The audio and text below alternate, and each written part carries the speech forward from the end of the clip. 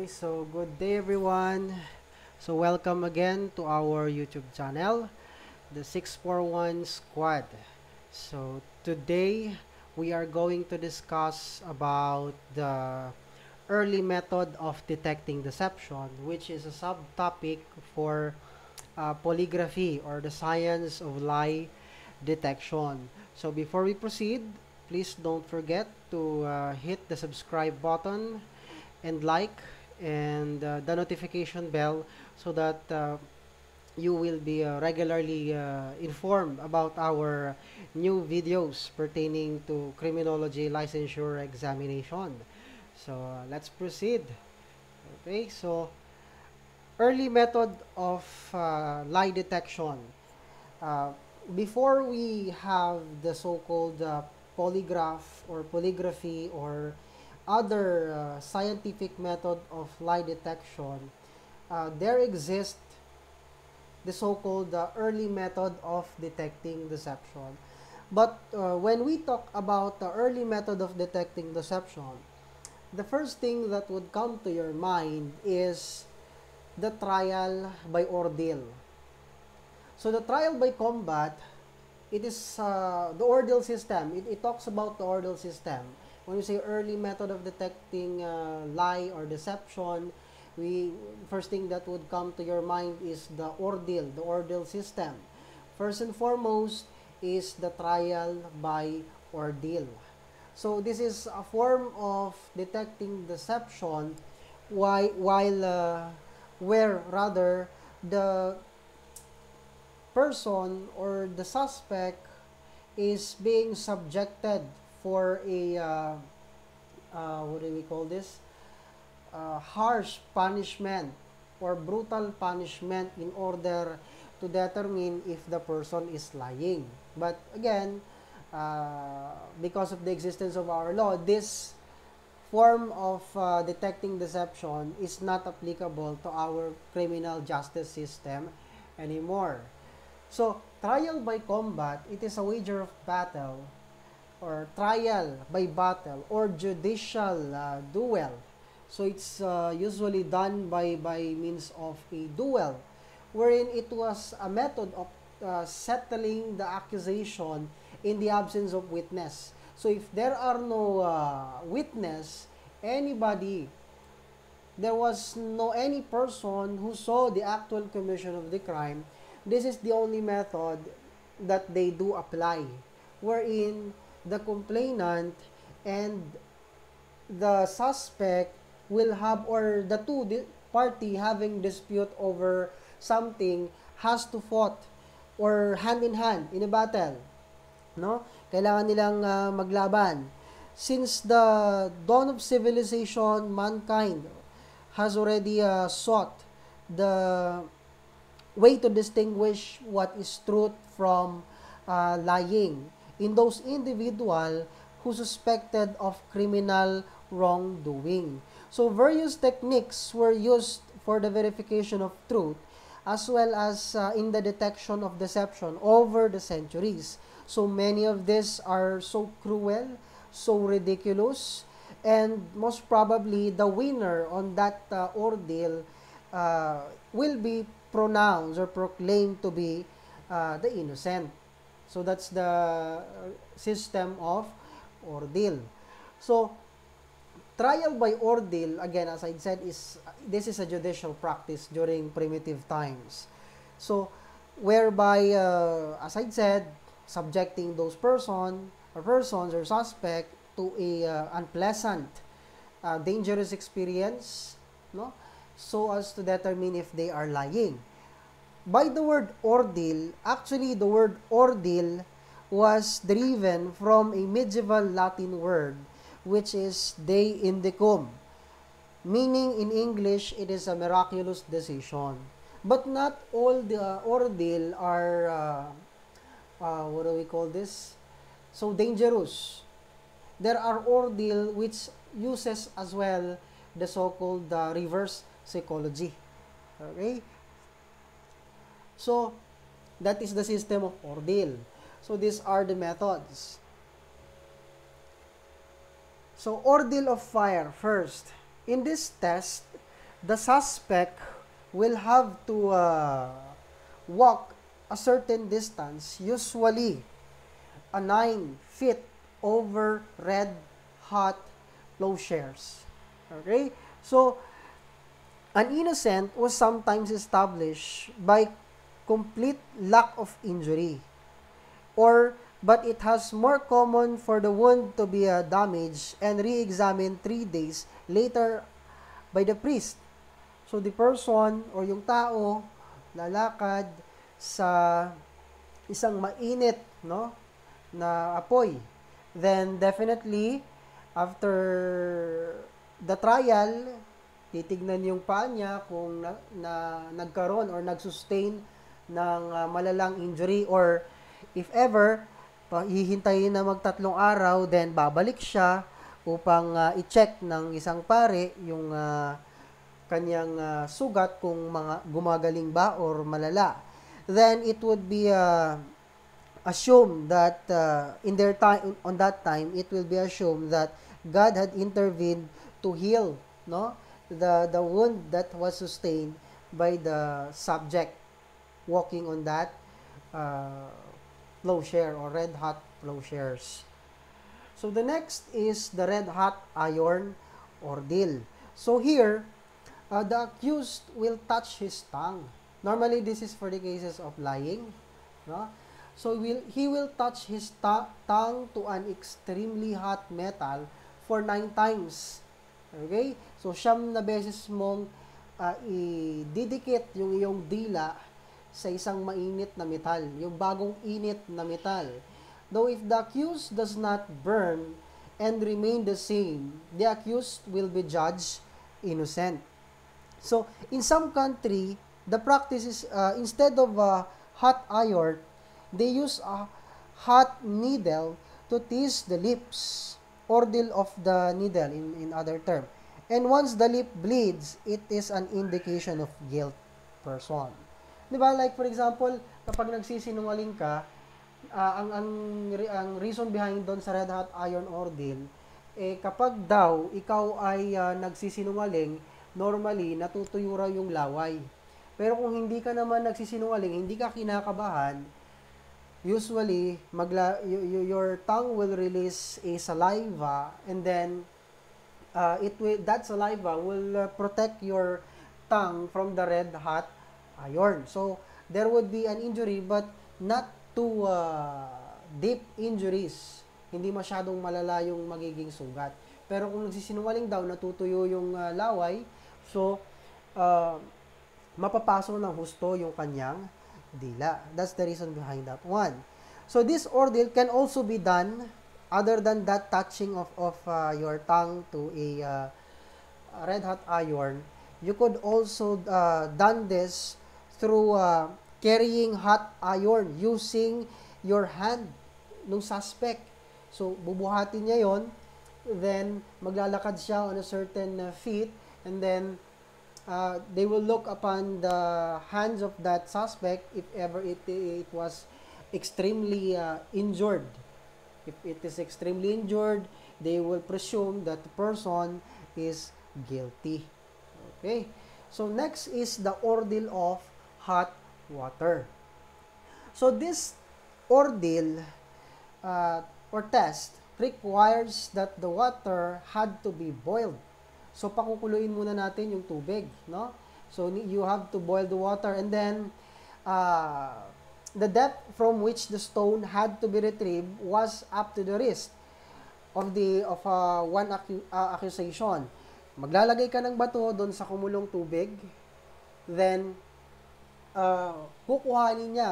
It is uh, needed na yung bato, yung lalim rather nung kumukulong tubig or yung bagong kulong tubig or yung mainit na tubig is until your elbow.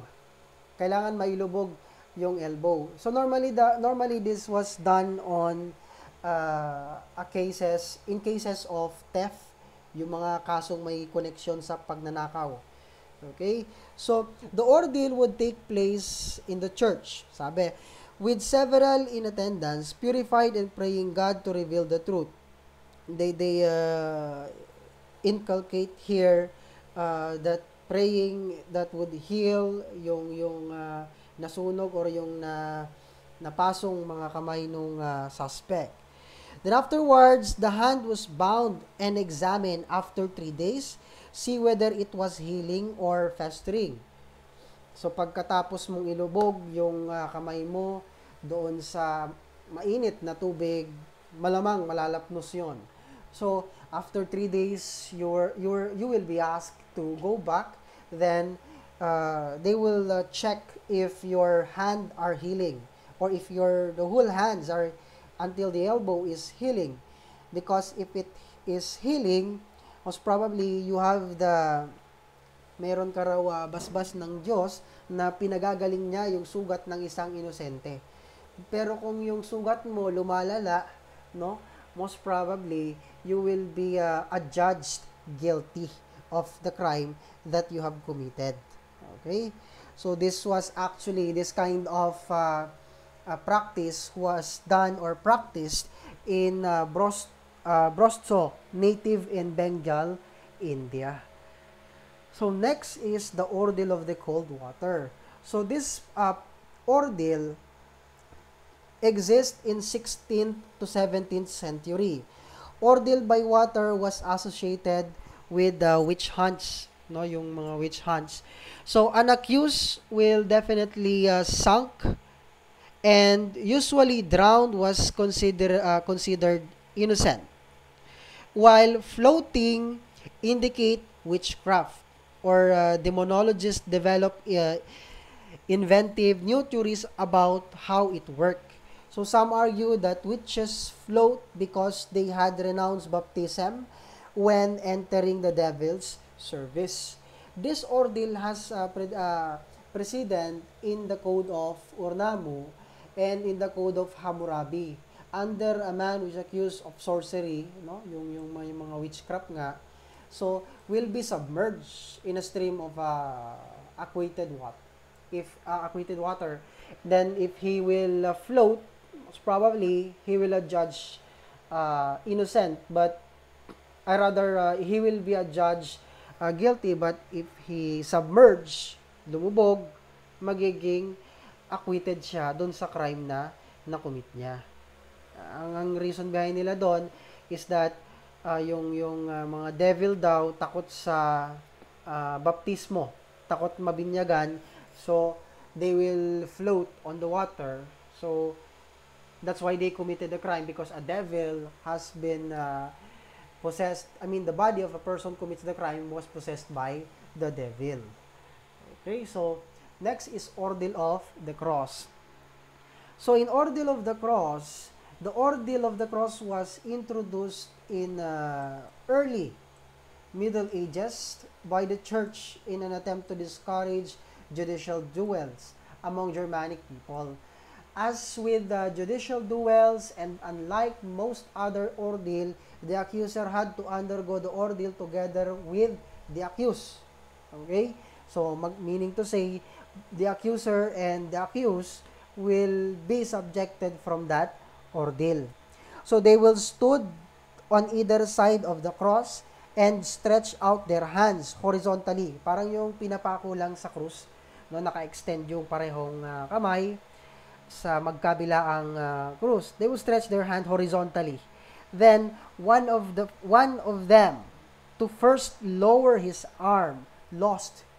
So dapat patagalan to eh. Okay? It's some kind of uh, uh, a torture wherein they have to fight over who can uh, sustain long time na nakahang yung kanilang mga braso. Kapag nauna mong ibinaba at nangalay ka, napagod ka, nauna mong ibinaba yung iyong mga braso, so you will be a judge guilty of the crime. So whoever wins on that uh, challenge will be uh, a judge acquitted of the crime or whoever loses, kung sino na unang nagbaba ng kamay, nangalay, siya yung magiging uh, guilty doon sa crime committed. But it was record, uh, it was already abolished so as to avoid the mockery of Christ. No, tin inabolish rin to after kasi nga parang uh, but uh, uh, it was abolished because parang uh, nakukutya yung yung uh, pagiging sagrado nung simbo, simbolo ni Kristo, no? Kaya ito inabolish. So the next was ordeal of boiling oil. So ano yung boiling oil or the ordeal of the boiling oil? So this ordeal was uh, practiced in villages of India and certain parts of West Africa. There are two versions of this ordeal. So in first version, the accused party are ordered to retrieve an item from a container of boiling oil with those uh, who refuse the task being found guilty. Okay? So, parang katulad siya nung uh, boiling water ordeal, but this time it's an oil. You will also dip your hand in a, in a boiling uh, oil. But if you refuse, you are guilty. If not, you are innocent. It's somewhat like a reverse psychology, but still harsh. No? Still harsh. So, the other one is, uh, the other version of this trial was both of the accused and the accuser have to retrieve an item from a boiling uh, oil with the person of person or persons rather whose hand remain unscratched being uh, declared innocent. Okay? So, kung sino yung medyo hindi masyadong na-damage yung mga braso or balat, so he will be the one to be a judge innocent on that uh, trial or ordeal. The ordeal of uh, rice chewing or yung tinatawag nating uh, rice chewing ordeal. This is a method of detecting deception whereby the accused will be required to take a rice. It's it's like a clergy, no? Parang sa Katoliko yung bread, no, ni ni Kristo. If the accused fail to swallow even a single grain of concentrated rice, he or she will be judged guilty. Okay? So, pag hindi mo daw manguya, ibig sabihin, hindi pumapasok doon yung isang mabuting rice or bread which uh, the body was suspected to have possessed by demon. So, hindi niya talaga malulunok yon sabi doon. So, pag di mo kayang lunukin, most probably you will be a, a judge guilty of the crime that you that was committed for you. The next is the red, I mean the red water ordeal or the ordeal of the red water. It's like a food and drink uh, ordeal. In this method, the accused will be uh, required to run fast for 12 hours. No, 12 hours. Ang tagal nun, ha? So, take a cup of rice. Kakain muna siya ng kanin. And then, may inumin siyang dark water. No, dark colored water. Isang galon yung inumin niya dyan. And then, uh, afterwards, uh, pag sinabing uh, yung tubig, for example, yung tubig, yung dark water, kung hindi niya daw isinuka, if if the person who take the rice and drink the water did not vomit the dark colored water is found to be guilty. But if that person vomit that dark water, kasi yung dark water ang, ang paniniwala nila doon, meron yung masamang uh, spirit. So pagka hindi mo daw yun na suka, uh, you are guilty, you are evil. Pag sinuka mo naman, you are acquitted. Okay?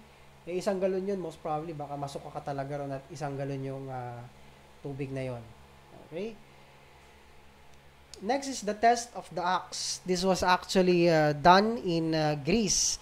The test of axe was uh, a suspended axe, no? Was spine in the center. So most probably, I mean, it will be spin in the center.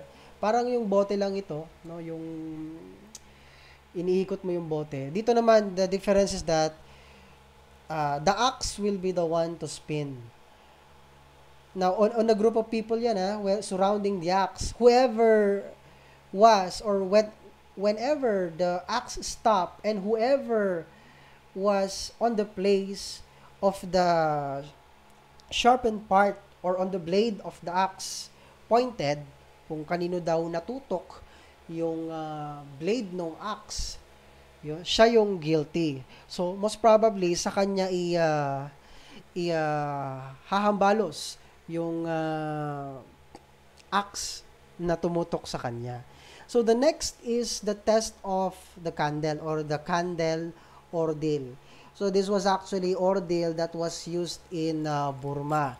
So in this ordeal, they used uh, or rather the accuser and the accused were each uh, given same identical candles and were lightened at the same time. So sisindihan niya ng uh, magkasabay, magparehong size, parehong uh, itsura, parehong ng laki, then uh, magkasabay sisindihan.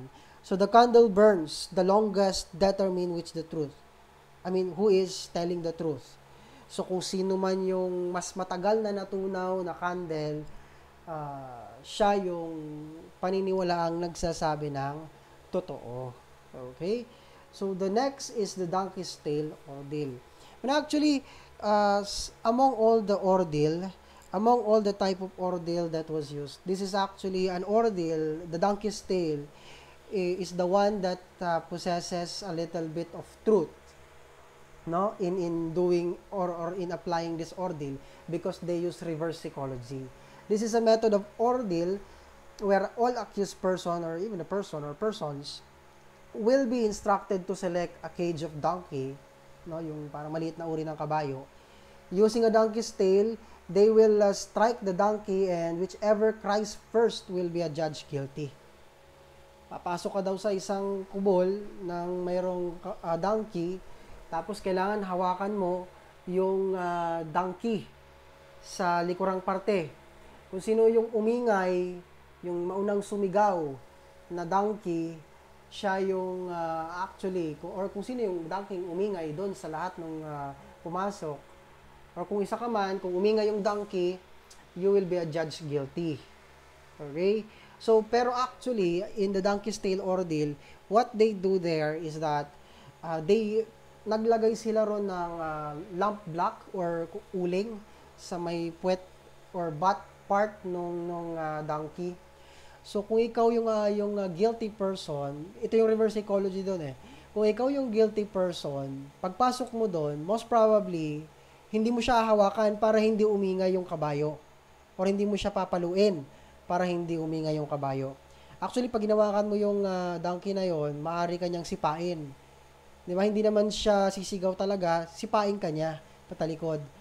Okay? So, but the essence there is that kung yung tao pumasok doon, hindi niya hinawakan, hindi yun sisigaw or hindi siya talaga sisipain. Pag lumabas siya, this is the real deal in the donkey's tail ordeal. Pag lumabas siya ron na wala siyang uling sa kamay or lamplock sa kamay, so most probably hindi niya hinawakan yung donkey. Nagsisinungaling siya, hindi niya hinawakan yung donkey kasi takot siya na sumigaw yung donkey. So that's the real essence of that donkey's tail ordeal or ash. Nilagyan nila ng mga ash or uling, no, yung puwet So, pag hinawakan, kung puma- pumasok ka doon, sumigaw man yan o hindi, paglabas mo doon, uh, titignan yung kamay mo kung merong mga ash or uling.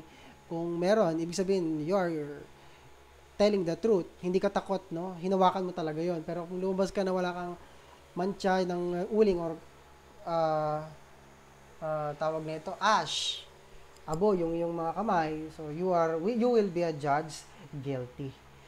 So the next is the hereditary save, no? Save. So Dr. Hans Gross actually uh, mentioned this kind of ordeal in his famous book about criminal investigation, in which beans were thrown into a sieve as the name of uh, each suspect was called. Oh. How does this done or how does this kind of ordeal goes on or uh, executed? So the deception criteria were described as Like, for example, if the bean jumps out of the sieve, ano ba yung sieve? Yung bilao. Di ba para kang nagtatahop ng, uh, ng bigas. So, kung yung uh, bean daw na tinapon dun sa bilao, uh, tumalon, palabas, so most probably, the owner of the name who pronounced is innocent. But if the if the bean in the sieve remains, the person is named as Steve. For example, tinawag ka, ikaw muna yung tapos pangalan mo tinawag, magtatapo ng beans doon sa bilao, pagkatapos kung yung, yung beans tumalsik sa labas, hindi nagstay sa loob, innocent. Pero kapag yung pangalan mo tinawag, tapos tinapon yung bila, yung, yung uh, bin sa bilao, nagstay, you will be adjudged guilty and you are considered to be the thief. Okay, so the balance ordeal, the accused will lie. In this ordeal, the accused will lie in a balanced scale. If the scale does not balance on the same side, the accused will be guilty. Ganun lang yon. Alam niyo yung siso sa Tagalog, no? Hihiga ka ron. And then, kailangan daw may balance mo yon. Pag hindi, pag mas mabigat yung sa parte ng ulo, or sa parte ng uh, paa, so guilty ka. So you really have to balance that uh, balance, yung siso sa Tagalog. Kailangan mabalance mo yung siso. Ang explanation nila kasi ron, pag guilty ka raw, pag nagsisinungaling or kinakabahan ka, di ba namumula yung muka? So usually, umaakyat yung dugo sa ulo. So mahihirapan ka daw na mag-balance kapag ka ganon. Kasi yung dugo umakyat sa ulo. So may hindi mo siya mababalance. Pero kung normal yung tibok ng puso mo, normal yung lahat sa iyo, pag uh, test sa iyo nung balance ordeal, most probably kaya mo naman daw yang i-balance yang yang uh, season na yan. So the next is ordeal of the cursed or ordeal of the blessed bread. A priest puts a bread into the mouth of the accused. If the accused swallowed it, he he was freed from punishment. So pakakawalan siya kapag ka na, nakain niya yung tinapay, no? Kung uh, nalunok niya yung tinapay, isang buong tinapay 'yon ha. Uh, ilalagay sa bibig niya tapos kailangan makain niya 'yon, ma- malunok niya 'yon. yung malaking tinapay na 'yon. So if not, uh, he will be considered guilty of the suspected crime. So the next is the test of the Eucharist. This was chiefly applied among the clergy and monks. When they took the host or yung hostya, it was believed that God would uh, smite the guilty uh, with sickness and death. Ganun lang siya, no? Kakain ka raw nung sagradong tinapay na yon and then um, kapag or yung hostya na sinasabi nila kung ano man yung host, host na sinasabi nila then pag ikaw nagkasakit uh, or namatay, you will you are considered to be the guilty. But if not, uh, most probably you are considered acquitted of the crime that is being accused for you. So others naman believe that if the accused is innocent, when given a poisonous drink to take them, I mean to take it, Angel Gabriel daw will fall down or will descend from heaven to prevent the accused from taking the poisonous drink. Ayan. Test of the Eucharist yan. Order of, uh, ordeal of the beer. It was an ancient uh, belief uh, that a slain dead could point out the killer. Yung namatay na, so ang ginagawa dito, uh, it, this, it was practiced in England actually. This, that was practiced in England. Wherein, uh, sa burol daw yan eh. Kapag yung, yung patay, uh, in view of the witness, no, yung yung nakikita niya raw kahit patay na siya, tas ay binurol mo, tapos dumalaw or lumapit yung yung uh, perpetrator or yung assailant, yung dugo yung yung sugat daw na dinulot nung pagpatay ay bubuka at medyo dudugo daw ulit, no? As what have said here. So magbi-bleed daw ulit yung sugat. So most probably they believe that the murderer or the perpetrator or assailant is just nearby or baka nandyan lang or baka na, uh, dumalaw pa. So it was actually the ordeal which was recorded by well by Shakespeare in Richard III. Ayan. So the trial of waxen shirt ordeal, no? So this ordeal was uh, done through uh, where in the process that the accused will dress with the cloth covered with wax and walk barefooted, ah, nakapaalang, on a burning coal. So it was, uh, or if he was unhurt by fire and wax did not melt, hindi daw natunaw nung dumadaan siya ron sa uh, nagbabagang uh, mga uling, he will be considered innocent. Pero kung yung sinuot niyang wax na damit, I mean, damit na winox, uh, natunaw yung wax, you will be, I mean, the person will be considered guilty of the crime. Ordeal of the tiger, so actually this was practiced in uh, Siam, no? The accused and the accuser will be placed on a cage where there is a tiger. Then whoever was spared by the tiger, most probably he will be the one to be considered innocent. Kung sino yung nilapa, siya yung guilty. Actually, ina-apply nila dito yung yung uh, yung kwento sa Biblia eh, yung yung sa tiger. Kung hindi ka lapain ng tiger, uh, most probably uh, hindi ka raw, I mean, you are not a sinner. Hindi ka makasalanan kung hindi ka lalapain ng tiger. Kung ikaw naman yung nilapa, hindi, you are a judge the guilty. And that uh, is already your punishment, yung paglapa uh, sa iyo ng tigre. Then, other countries practicing ordeal as well. So, we have the uh, Madagascar. Legendary authority practice trial by ordeal there. And then, suppose that criminal, uh, they, they, they are supposed to drink or swallow a poisonous fruit or drink, no, fruit. Ang tawag nila dito sa fruit na ito is, hindi po yan mura, no? Ang tawag natin diyan, tangena. Okay? So, it's, it's a kind of fruit like a bearing nuts. It, Tangina is an indigenous name of the tree species in uh, Kerbara manghas in Madagascar. That's what uh, that's uh, where you could find that fruit, no? This is a type of fruit that uh, produces toxic nuts historically used in trial by ordeal. Actually, maraming namatay dahil dyan sa prutas na yan. So, most probably, Uh, this ordeal is to determine if the person is uh, uh, guilty or not. The suspect will drink or definitely intake such poisonous uh, uh, drink or fruit. Then, if they vomit that fruit, most probably they will be declared innocent. But, nung ininom nila, namatay sila kasi nga poisonous, yun yung pinakaparusa nila and they are considered to be guilty. Pero kung naisuka nila na buhay sila, so most probably, uh, they will be uh, considered innocent. Pero kung hindi nila sinuka, na nanatili sa katawan, tapos syempre mamamatay, kasi nga poisonous yan. So, yun yung pinakaparusa niya. Then, he will be considered guilty of the crime. But it was abolished later on by King Rada II. Okay? Borneo. So the accuser and the accused were presented on uh, shellfish. Na, that's shellfish. Play, uh, na nilalagay sa plato. An irritating fluid will be poured on the shellfish and uh, litigant whose shellfish move first was adjust the winner.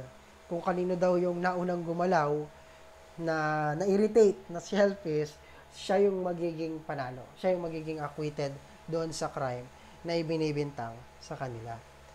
So next in Nigeria, so what they what they practice there is that a priest greased and cock's feather and the pierced on the tongue of the accused. Itutusok daw yung feather na yon. Then, if the feather passed through the tongue easily, the feather, I mean, the accused was deemed to be innocent. No, if not, magiging guilty siya. So, yung, yung uh, balahibo na may uh, ng ng ibon, no? Or feather ng ng uh, cock. Itutusok 'yon sa dila mo kung kung uh, tumagos, inosente ka. If not, considered kang guilty. That uh, those are the ordeals, no? In in uh, early method of detecting deception. So we will talk next uh, next video on the next video now the the uh, scientific these are the traditional uh, medieval uh, or primitive way of detecting deception. So the next on the next video we will talk about the scientific way of detecting deception. Then we will talk about polygraph examination. Thank you for listening. So please uh, don't forget to hit the subscribe button and the notification bell